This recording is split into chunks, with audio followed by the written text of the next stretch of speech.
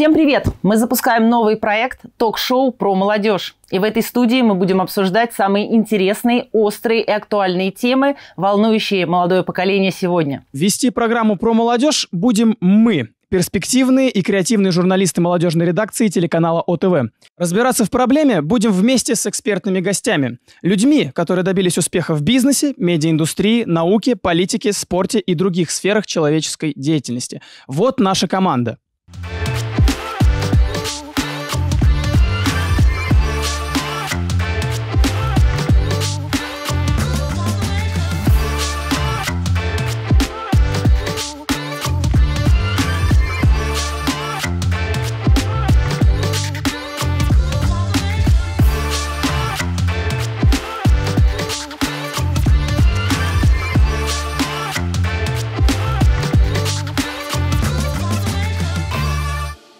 Тема нашего первого выпуска – проблемы профориентации молодежи 21 века.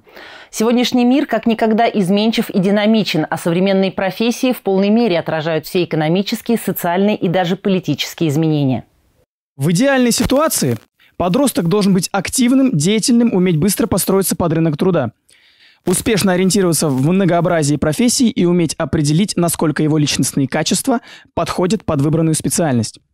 По факту же старшеклассники могут полагаться только на самого себя и непрофессиональную помощь родителей и друзей. По данным Российского аналитического агентства, около 40% респондентов не работают по той профессии, которую получили в ВУЗе. Почти 20% кандидатов лишь первые годы работали по специальности, и только 61% нынешних студентов планируют развивать карьеру по своему профилю. Отвечая на вопросы о том, что повлияло на выбор профессии, 28% ответили, что большое влияние оказали родители. Треть сослались на жизненные обстоятельства, 21% на предполагаемую зарплату, 6 прислушались к советам учителей. Только каждый седьмой респондент аргументировал выбор способностями или призванием. Что ждет молодой человек от профессии сегодня? Какие цели ставят? Какими критериями руководствуется, когда делает выбор? Для сегодняшнего обсуждения мы определили два подхода к выбору профессии – деньги и интерес. Рассмотрим все плюсы и минусы обеих сторон медали.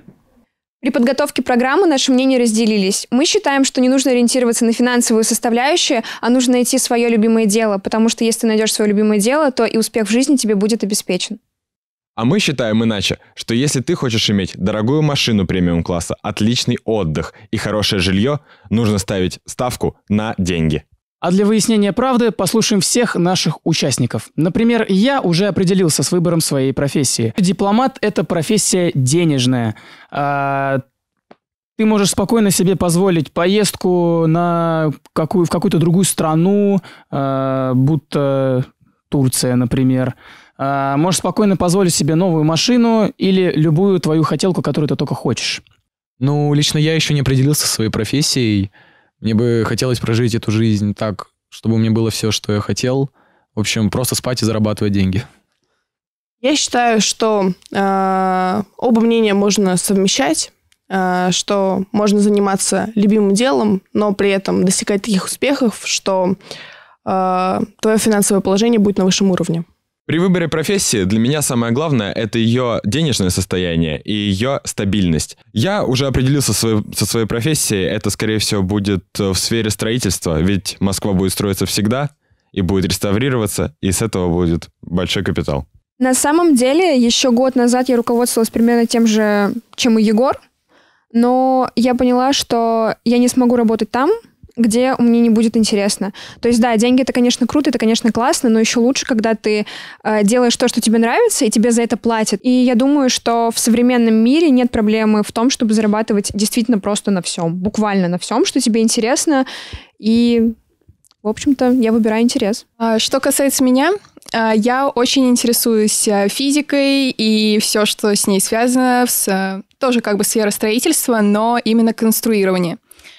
А, как бы там совмещается и интерес, и деньги.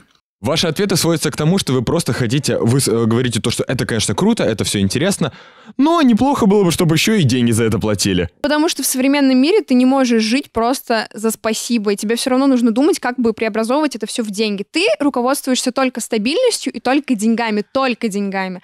А мы говорим о том, что нужно сначала понять, что тебе интересно, и этот свой интерес, хобби, неважно, что это будет, может быть, это рисование, может быть, это пение, неважно, и преобразовать этот талант в деньги. По логике вещей, если у тебя есть стабильная работа, где тебе платят большие деньги, в чем проблема вложить эти деньги в свое хобби, и ты получаешь удовольствие, ты получаешь э, удовольствие от того, что ты зарабатываешь деньги, и просто эти деньги вкладываешь в свое хобби. Все. Я и говорила, я думала об этом год назад, условно, что я пойду на юриста, например, да, но, во-первых, на юриста нужно отучиться 5 лет, то есть это 5 лет страдания. Потом ты устраиваешься, я устраиваюсь, да, куда-то, и мне нужно работать как минимум с 8 до 6, чтобы потом заработать деньги, и эти деньги уже вложить в то, что мне нравится. Зачем, если я могу с 8 до 6 работать там, где мне нравится, и за это получать деньги? В данном случае я полностью согласна с Яной в том плане, что я не могу со своей стороны заниматься тем, что мне неинтересно. Я могу заставить себя переключиться на какое-либо дело, но это не будет а, тем, что я буду делать в полную силу, тем, из чего будет положительный и качественный результат. И я, соответственно, тоже склоняюсь к интересу, потому что э, интереснее сделать что-то свое, вложить в это всего себя и потом увидеть результат э, своих стараний. Э, я уже определилась по большей мере со сферой и выбором профессии. У меня это IT-специальность. А, в данный момент я прохожу обучение в колледже по дизайну, 3D-моделированию и прочее, потому что не, представ... не представляю свою жизнь без творчества. Однако иду я на бизнес-информатику, потому что хочу открыть свое дело, и опять же за счет этого найти интерес и что-то придумать свое. А, я определился с выбором своей будущей профессии. Это тоже IT, как у Алены, потому что это меня привлекает, интересует. И думаю, что если я стану хорошим специалистом в этой профессии, то я смогу получить кайф от этой работы. А, я еще не определилась со своей профессией, но я точно знаю, что я буду заниматься тем, чем мне нравится. Я считаю, что нам не надо концентрироваться на какой-то одной профессии, потому что такое время уже прошло, нам не надо быстро отучиться и пойти работать на завод до пенсии. Мы должны постоянно учиться, постоянно пробовать что-то новое. Было время, когда я работал в фастфуде, это самое ужасное, что было в моей жизни, я больше туда никогда не пойду. Вот сейчас я пробую себя в виде журналиста, SMM, корреспондента, и я не буду останавливаться. Нет такого дела, которое я люблю. Есть моменты, когда мне что-то вот это нравится, что-то вот это. Вот, и за деньгами я не гонюсь. Ну, у вас практически все ответы сводятся к тому, что вы хотите работать на своей любимой работе и при этом иметь кучу денег. Бабла. И понятно, что я тоже хочу спать просто на диване, потому что я это люблю и мне это нравится. И чтобы мне каждый день на карточку капал миллион. Но у нас тема заключается в том, что либо деньги, либо интерес. Но все равно вы выбираете профессию, которая в любом случае вам нравится. Я не могу... Э, Арсений, ты выбираешь дипломатию только потому, что ты хочешь кучу денег, но одна из самых таких причин, ну ты до этого говорил, что ты хочешь общаться с людьми, ты хочешь прожить интересную жизнь. Интересную, не только денежную. Без денег не получится прожить достойную жизнь и интересную жизнь. Если ты хочешь куда-то летать, опять-таки, кататься на иномарках, э, жить в хорошем престижном доме, ну, одним интересом это не покрыть, к сожалению. Деньги не приносят счастья так, как вы об этом говорите. А также деньги, в принципе, тебе никогда не заменят и эмоции, и наслаждение, и прочее. Ты можешь работать, э, там, грубо говоря, год на работе, которая тебе будет так не, которая тебе не полюбится настолько сильно, что ты просто выгоришь по итогу и уйдешь оттуда. Ну, опять же, как и Яна, я могу продолжить тему, например, Арсений, тебя, вы сказали, что вам нравится, вам интересна эта профессия, с какой бы точки зрения это не было. Возьми любую другую прибыльную профессию, тебе будет интереснее заниматься стройкой, но это же тоже будет какой-либо интерес. Эмоции, ты сказала то, что эмоции нельзя заменить деньгами. Заменить их нельзя. Их можно купить. Ты можешь купить любую эмоцию. Ты можешь взять, взять себе яхту поехать на этой яхте, взять там миллион людей, э, позвать самых, не знаю, очень таких важных или популярных личностей мира, и тебе это принесет удовольствие. Это будут нереальные эмоции. Их же можно купить за деньги? Их можно купить за деньги. Да, нет, вопрос, как ты купишь яхту? Ты готов ради яхты там за 5, 10, 20 миллионов пахать 5 лет и ненавидеть работу, на которой ты работаешь? В этом и суть. То, что вам придется 10-20 лет пахать со своей надеждой и таким нравом к своей работе. Да, вы ее любите, безусловно. Мы даже, может, и не любим как-то свою работу. Или нам она просто, ну, серым, серым пленом таким.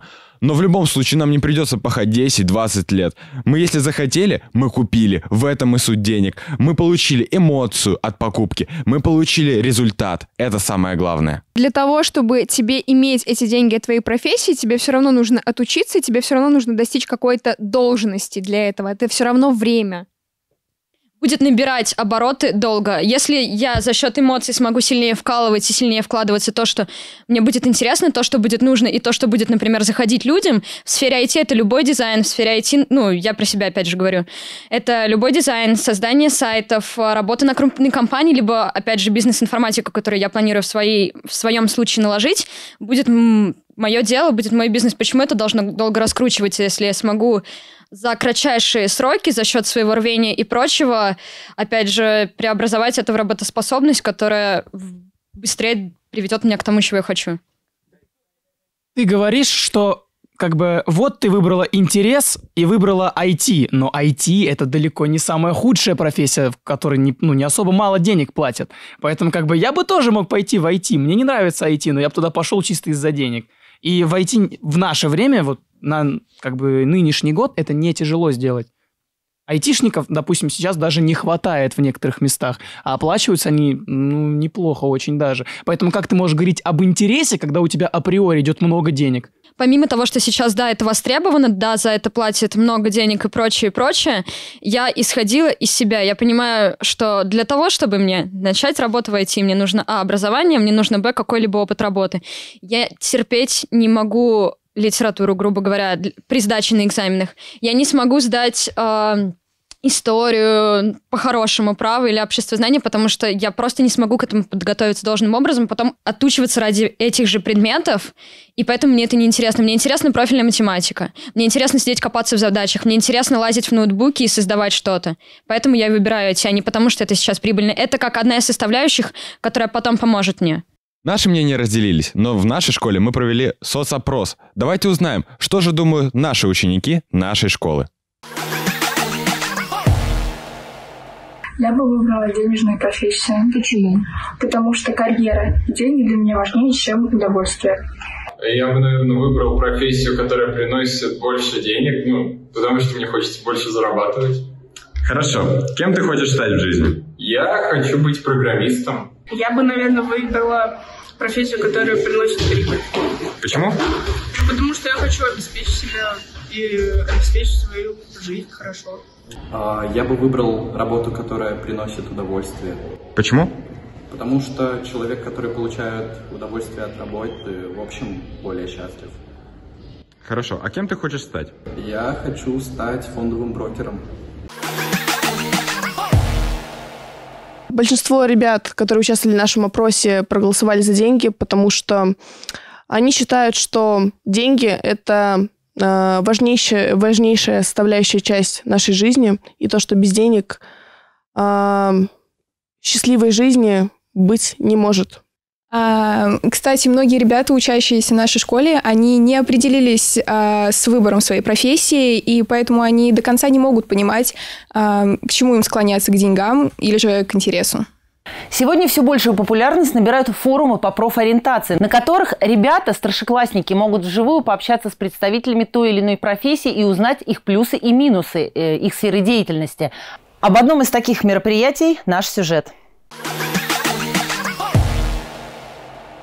Слушатели – ученики восьмых-десятых классов со всего округа. В качестве спикеров – профессионалы своего дела. Они не только рассказали о своем ремесле, но и подсказали, на что необходимо обратить внимание при выборе будущей профессии. Цель нашего мероприятия – это дать общее представление о тех профессиях, которые сейчас у нас есть на рынке, о тех профессиях, с которыми стоит будущее, чтобы дети смогли изнутри познакомиться с профессией, чтобы они смогли пообщаться с представителями данных профессий, где-то развеять свои страхи, э, сомнения. К выбору спикеров организаторы подошли вдумчиво. Среди них представители самых востребованных профессий – врачи, военные, пожарные, волонтеры, спортсмены. Они поделились историями своего пути в профессию, плюсах и минусах работы в конкретной области. Действительно, мой первый был вопрос, когда я зашел в зал, я спросил, кто хочет стать врачом. И мне было очень приятно, потому что очень много детей, как раз вот 9, 10, 11 класс, подняли руку и сказали, что хотят в будущем связать свою жизнь с медициной. Медицина – это не отдельная отрасль, это уже соединение кибернетики, и программирования, и биофизики. Поэтому это колоссально интересное направление, которое мы обсудили. Чтобы стать врачом, недостаточно одного желания. Необходимо углубленно заниматься наукой уже со школьной скамьи. И, конечно, обладать такими качествами, как эмпатия и человеколюбие, умением слушать и слышать. Те, кто интересовался профессией военного, смогли задать вопросы Владимиру Силантьеву. Участник освобождения заложников теракта в Беслане раскрыл секрет военного дела. Чтобы стать военным, нужно на самом деле любить Родину. А Родина – это кто? Это вот начиная от мамы, папы, братьев, сестер, бабушка, дедушка, друзья, село, деревня, город. Вот она Родина. Учитель, программист, механик или водитель. В мире нет ненужных профессий. Главное, при выборе будущего занятия прислушиваться к собственным желаниям и довериться врожденным талантам. Зачастую основным критерием становятся личные качества. Профессия пожарного, она издавна славится смелостью, добропорядочностью, отважностью. И пожарный, он тот человек, который обладает большим добрым сердцем. В большинстве своем, принимая решение в пользу будущей специальности, подросткам приходится делать важный выбор – желанная профессия или заманчивые перспективы. И вроде бы как я должна была поехать поступить в медицинский институт, но не доехала две остановки, а вышла возле Луганского педагогического университета и стала психологом. А так жизнь. Так бывает, да. Родители, конечно, были в шоке. В ходе мероприятия перед школьниками и учителями выступили и специалисты по профориентации. Их задача – сделать столь важную тему системным продуктом во всех школах. И в концепции нашего курса мы знакомим ученика а, с самим собой, то есть а какой я, а что мне интересно. Это первый момент. А второй момент мы знакомим с окружающим миром, да, с рынком труда, с рынком образования, как вообще выстраивать образовательную траекторию. И вот на стыке знаний о мире и знаний о себе как раз и получается вот этот выбор совершать. Проведение подобных форумов в Одинцовском округе стало традицией. К ним готовятся заранее и всегда стремятся получить обратную связь, чтобы в будущем дать подрастающему поколению как можно больше полезной информации и тем самым помочь с выбором профессии. Сейчас мы пригласим в студию нашего специального гостя, а точнее гостью, и узнаем ее отношение к вопросам профориентации молодежи сегодня. Сегодня у нас в студии представительница творческой профессии актриса театра и кино Карина Мишулина. Талантливая актриса театра и кино, сценарист, а еще дочь главного Карлсона Советского Союза Спартака Мишулина. Казалось бы, выбор профессии судьба определила за нее. Уже с двух лет она вместе с папой выходила на сцену театра сатиры, а в пять официально была принята в труппу. Ее партнерами тогда были легендарные Андрей Миронов, Анатолий Попанов и Ольга Аросьева. Но после театрального института гордая Карина на одной сцене с отцом играть отказалась. Боялась, что ее будут воспринимать лишь как дочь знаменитого артиста. Творческий путь Карины был нелегким, но она добилась известности и стала обладательницей престижных театральных премий и наград на кинофестивалях. Позднее актриса все-таки приняла приглашение художественного руководителя театра сатиры Александра Ширвинта и продолжила династию на легендарной сцене. В кино также все сложилось. За ее плечами более 20 работ в кино и сериалах, но большинство зрителей знает Карину по ситкому «Жуки», а также роли учительницы Светланы Ермаковой в комедии «Физрук», где ее партнером стал актер и телеведущий Дмитрий Нагиев. Ну чего себе желудок-то портите? Хотите, я вас настоящим завтраком накормлю? Mm. Любите яйца? Ой, вы знаете, я яйца просто обожаю. Вот так иногда беру в руку два яичка. Я уже этими пирогами пузо набил. Ну, смотрите. Просто такой мужчина, как вы, достоин гораздо больше. Сегодня Карина Мишулина занята в различных театральных и кинопроектах, счастлива в браке, воспитывает двух дочерей-подростков и продолжает следовать своему главному жизненному принципу – делай, что должен, и будь, что будет. Здравствуйте. Здравствуйте, здравствуйте всем. Здравствуйте, Карина. У нас сегодня вопрос профориентации молодежи. Наши мнения разделились. Кто-то считает то, что в профориентации важно чувства, важны какие-то эмоции, а кто-то считает то, что важны деньги. Как вы считаете по этому поводу? Я считаю, что самое идеальное, когда все это совмещается. Потому что если ты горишь э, тем делом, которым ты занимаешься, если действительно ты находишь дело э, по душе, потому что оно тебя зажигает, а, то а, когда тебе за это еще и платят, то оно как бы, да, все эти пазлы складываются, и тогда, в общем, мне кажется, это самое идеальное. Вот мне, наверное, повезло, потому что как-то папа мой тоже был артист, народный артист России, и он с детства меня начал водить в театр, привлекал меня в постановки театральные, я ездила на гастроли, я бывала с ним на съемках, и, конечно, в какой-то момент я просто поняла, что действительно это то, что мне нравится, это то, без чего я просто не могу дышать. И э, я поступила в театральный вуз, после него в театр, а потом случилось кино в моей жизни, но я понимаю, вот даже сейчас, выходя на сцену, до сих пор, то есть у меня первостепенно моя профессия. А выходя со сцены, когда мне за это платят деньги, это такой для меня приятный бонус. То есть, э, поэтому, мне кажется, просто надо пробовать, как можно раньше себя, если, например, нету вот прям там с 5-6 лет, да, какой-то тяги к чему-то одному, то мне кажется, надо просто вот искать какие-то, может быть, кружки, э, что-то смотреть, с кем-то разговаривать, э, пробовать себя в разных-разных сферах, и я уверена, обязательно э, найдется то, что будет нравиться больше всего. И также, как мне кажется, не надо бояться, э, там, не знаю, иметь несколько образований. Почему нет? Э, очень часто просто, к сожалению, вот у меня с мужем так получилось, э, мой муж нашел свое призвание только в 36 лет, потому что до этого его родители заставили пойти учиться на инженера, ну, там, техническое образование получить. И он, поскольку не знал, чем он хочет заниматься в 17 лет, он пошел. Потом он ни дня, правда, не проработал по профессии, по, диплому, но, тем не менее, работал, так скажем, э, в каких-то сферах близких вот, к техническому образованию. И, встретив меня, поездив со мной по гастролям и побывав на съемках, он понял, что вот это то, что его зажигает. И он пошел в Авгик, получил образование исполнительного продюсера и понял, что он счастлив, что это то, что ему нравится, это то, что он хочет, и, как сейчас он говорит, это дело его жизни.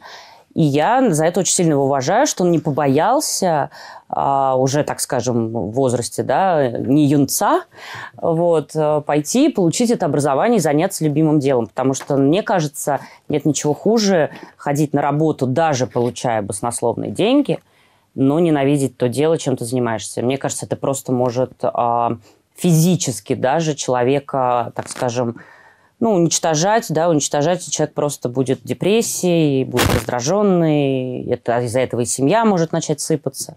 Поэтому, конечно, надо стремиться к тому, чтобы это дело приносило огромное удовольствие.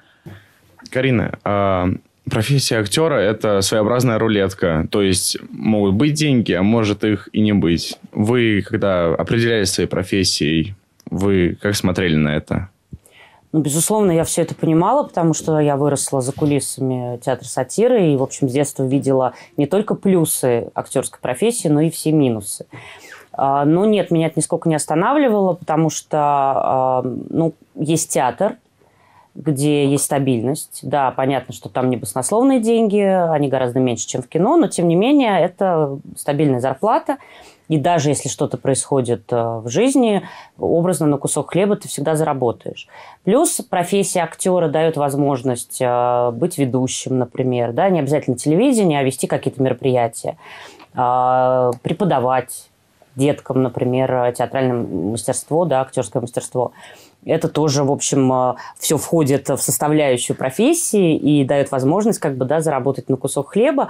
Не знаю, может быть, мне везло, э, как-то были разные периоды в жизни, потому что как-то я, в общем, э, поставила себе цель с юности всего добиваться сама, отказавшись, так скажем, от помощи папы. Поэтому пусть мой был непростой, он был тернистый, было разное, бывали и, в общем, тяжелые финансовые периоды, но никогда у меня не было желания бросить профессию, никогда не было желания там пойти зарабатывать, так скажем, без любви. Вот. А, просто надо понимать, да, если ты идешь в творческую профессию. Хотя, мне кажется, вы знаете, вот рулетка, она в любой профессии. Ну, правда. То есть там, не знаю, юрист тоже, он может быть успешный миллионер, а может быть юрист сидеть в какой-то конторе, да, получать, не знаю, там 300 рублей за консультацию. Поэтому тут э, вопрос, а, ты этим горишь, б, а, ты идешь к своим целям, то есть ты постоянно растешь, да, нет такого, что я получил диплом, сел, и я такой молодец, все, значит, а, достиг всех высот. Это не так. То есть, мне кажется, в любой профессии есть куда расти, есть а, учиться над, да, над чем и делать себя лучше. Поэтому, соответственно, чем ты лучше, чем ты ярче, чем ты профессиональней, и чем ты, несмотря ни на какие препятствия, идешь к своим целям, я уверена, ты все равно достигнешь и добьешься хорошего результата. А, мы знаем то, что у вас есть две дочери. А, хотелось бы узнать, вы будете их как-то направлять при выборе профессии или предоставите этот выбор им самим, чтобы они сами решили, что им больше нравится? Да, спасибо за вопрос. А, старшая дочь у меня уже закончила 11 класс, и, э, скажу честно, я, конечно, хотела бы, чтобы она продолжила нашу актерскую династию, но, увы, она не захотела. Я ей дала год не поступать никуда, потому что я поняла к концу 11 класса, что она ну, не до конца понимает, чем она хочет заниматься. И я, в общем, поскольку такой демократичный родитель, а, я ей сказала, давай так, давай вот этот год мы посвятим поиску тебя. Ты, это не значит, что ты будешь лежать на кровати и плевать в потолок, да, образно, а ты будешь все-таки как-то, ну, пытаться найти то дело, чем бы ты хотел заниматься. И, в общем, в принципе, не прошло и пары месяцев. Она сказала, мам, вот все-таки я хочу быть фотографом, а, мне это все очень нравится. И мы с ноября пошли в Международную школу фотографии. Сейчас а, она ходит, занимается. Я вижу, что она этим горит. Я вижу, как ей все это нравится. А, соответственно, я нисколько не давлю. А, я ей сказала, что я приму любой твой выбор. И мне главное, чтобы у тебя от этого горели глаза, и чтобы это было дело, которым ты действительно хотел бы заниматься. Вот, маленькая, ну, как маленькая, 13 лет, пока она тоже не очень понимает, потому что она хочет быть актрисой, певицей, блогером и там всем подряд. Вот. Э, ну, посмотрим. Я все-таки как-то стараюсь так в творчество направлять, но аккуратно, не, не, не давлея. То есть, в общем, э, мы ходили на танцы, вот сейчас она хочет на вокал.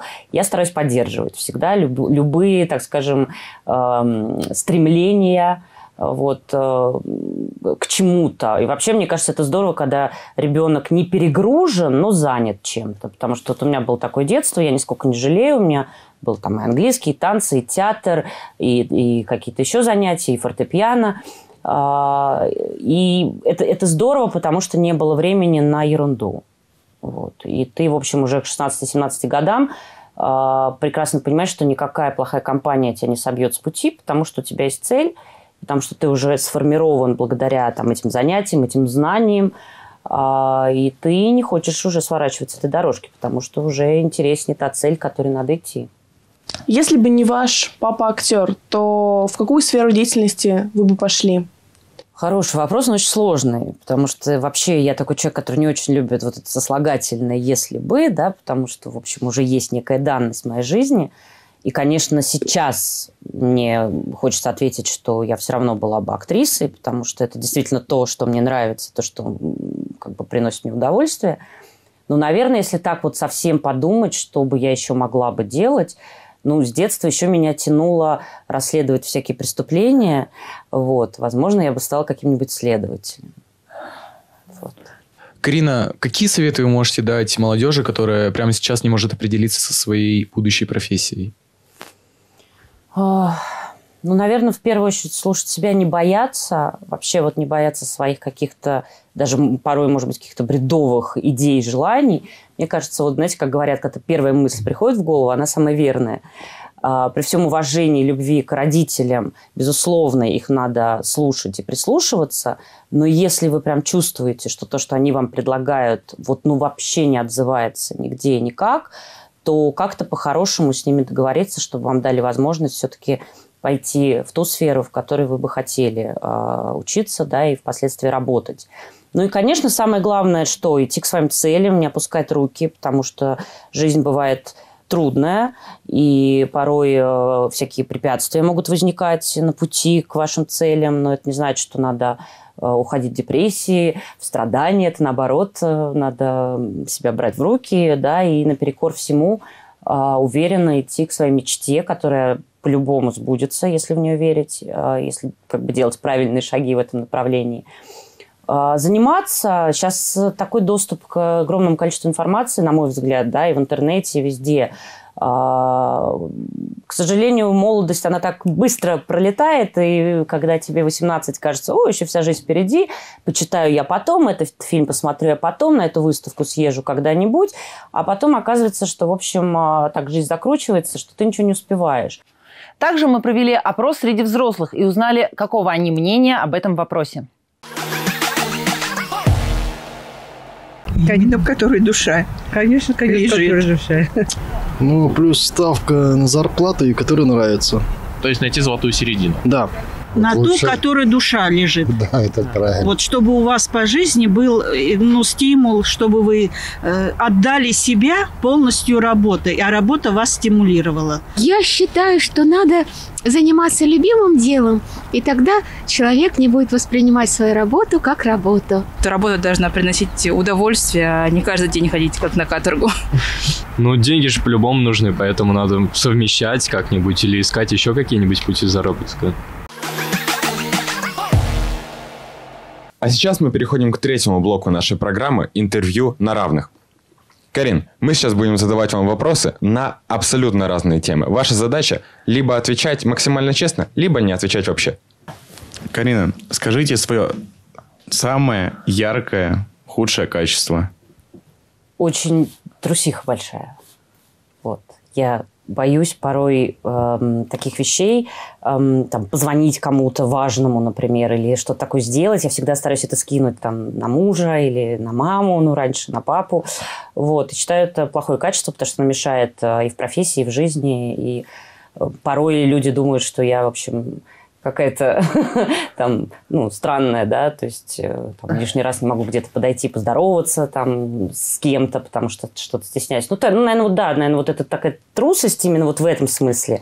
И вот такая чересчур какое-то стеснение неправильное. Вот.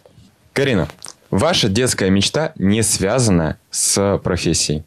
Ну, наверное, прям миллионы-миллионы иметь денег, чтобы жить в замке в каком-то красивом там бассейне, вот, чтобы у меня были там горничные всякие и так далее. Ну, то есть вот что-то, естественно, материальное, да.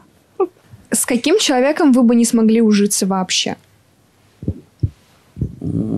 С подлым, с э, приспособленцем, с жадным и с без юмора человеком.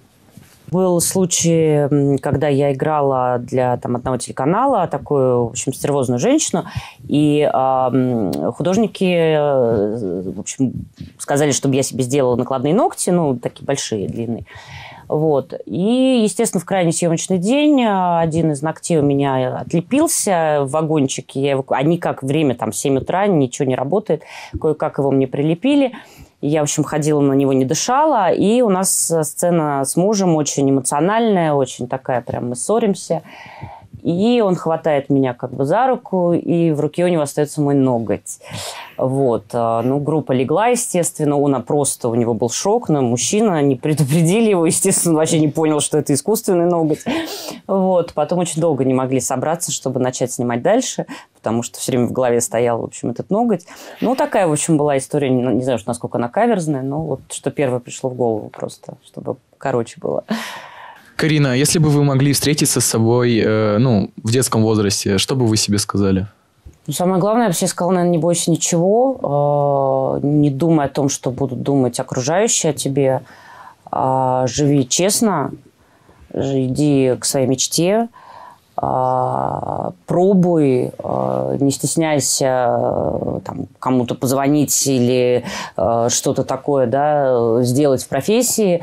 И, наверное, больше проводи время с папой, мамой и почаще говорим слова любви, потому что, к сожалению, они не вечны. Ну, многие говорят про заветные там цели, заветную мечту и прочее. А можете рассказать о своей мечте идиота? Мечте идиота? Ну, самое детское и прочее. Да, окей, вы сейчас будете смеяться. А, я не знаю, откуда это. У меня не было голодного детства. Я жила в достаточно обеспеченной семье. Но у меня почему-то была всегда мечта, и до сих пор она есть. Когда вот прям будет очень много денег, пойти в какой-то большой супермаркет – и набить тележку, вот просто не думая, несмотря на цены, просто ходить и набивать там вот всякой едой. И он до сих пор смеется мой муж, он говорит, я не понимаю, ты что, голодаешь? Почему у тебя какие-то странные мечты? Там не платье, не машина. Почему тележка с едой? Не знаю. Но вот мне прям очень хочется идти, чтобы она была прям вот, прям вот битком вся набита э, всякой всячиной. И вот потом это все так в пакетике раскладывать красиво и привезти все это домой. Ну, вот такая мечта идиота. Вы считаете себя удачливым человеком? Ну, наверное, да. Я считаю, что мне есть за что благодарить э, Вселенную, там, своих родителей, э, Всевышнего не грех жаловаться. Ну, понятно, что все познается в сравнении, возможно, кто-то там более удачлив. Понятно, что у меня не было такого в жизни, чтобы на меня что-то сваливалось. То есть как-то мне всегда приходилось что-то преодолевать. И через какие-то препятствия, там даже роли ко мне приходили. Не, не просто вот, что я пришла, и раз, значит, все прям дорожка передо мной постелилась. Но зато как-то вот э, попадались хорошие роли, да, и хорошие сериалы, знаковые. Э, там в театре тоже хорошие какие-то работы. Поэтому, ну да, наверное, я удачливый человек. Карина, спасибо вам большое за беседу, за вашу откровенность, за то, что пришли сегодня к нам. Спасибо вам огромное, ребята. Я желаю вам огромной удачи, достижения своих целей, чтобы все ваши мечты сбывались. И спасибо вам, мне было очень комфортно, интересно. Вы прям огромные молодцы. Спасибо. Всего доброго. До свидания.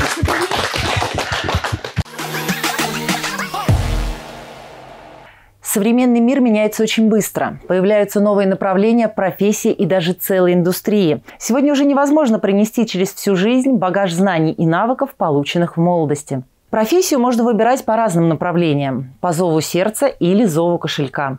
Но главное – это быть уверенным в себе и своем выборе. А если что-то пойдет не так, всегда можно начать новую жизнь с понедельника –